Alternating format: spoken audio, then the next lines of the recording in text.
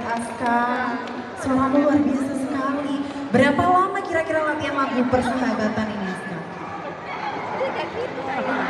Aduh lupa, baru nyanyi udah lupa ya.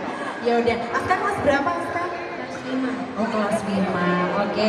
Terima kasih Aska atas penampilan hari ini. Luar biasa, tepuk tangan sekali lagi untuk Aska.